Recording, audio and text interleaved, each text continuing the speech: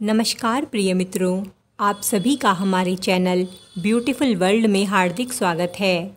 आज की इस वीडियो में हम बात करेंगे कि अगर आपको सपने में दिखाई देता है कि कोई घोड़ा आपको काट रहा है तो इस सपने का क्या मतलब होता है? वीडियो को आगे शुरू करने से पहले, मेरी आप सभी लोगों से रिक्वेस्ट है कि अगर आपने अभी तक इस चैनल को सब्सक्राइब नहीं किया है तो अपने सपनों का बिल्कुल सही मतलब जानने के लिए इस चैनल को सब्सक्राइब ज़रूर करें और साथ ही बेल आइकन को प्रेस करें। स्वप्न विज्ञान के अनुसार अगर आपको सपने में दिखाई देता है कि कोई घोड़ा आपको काट रहा है, आपके हाथ, पैर या शरीर के किसी भी अंग को घोड़ा अपने दांतों से काटता हुआ अगर आपको सपने में दिख जाता है तो यह सपना आपके लिए शुभ फल देने वाला होता है। अक्सर यह सपना देखने के बाद व्यक्ति के मन में नकारात्मक विचार आते हैं कि क्या होगा, पर यह सपना आपके लिए अच्छा फल देने वाला होता है।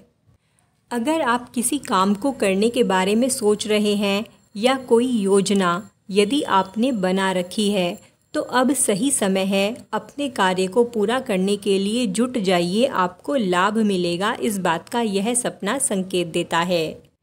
इस सपने के फल स्वरूप आपके जीवन में आने वाली कोई समस्या या कठिनाई टल जाती है और जीवन में सकारात्मक बदलाव होते हैं। यह सपना इस बात का भी संकेत देता है कि आपका वर्तमान समय भले ही अच्छा नहीं है, पर आपका आने वाला समय अच्छा होगा और आपने जो कुछ भी अपने लिए सोचा है, वह आपको थोड़ी कोशिश से प्राप्त हो जाएगा। तो यह होता है सपने में घोड़े को खुद को काटते हुए देखने का मतलब। अगर आपको यह शुभ सपना दिखाई दिया है तो आपको इसका बखान नहीं करना चाहिए। मतलब यह सपना आपको अपने आप तक ही रखना चाहिए, सबको इसके बारे में नहीं बताना चाहिए। और ईश्वर से अपनी उन्नति और सुख समृद्धि की प्रार्थना अवश्य करनी चाहिए। आपका बुरा समय खत्म होकर अच्छा समय ज़रूर आएगा, आपका कल्याण होगा।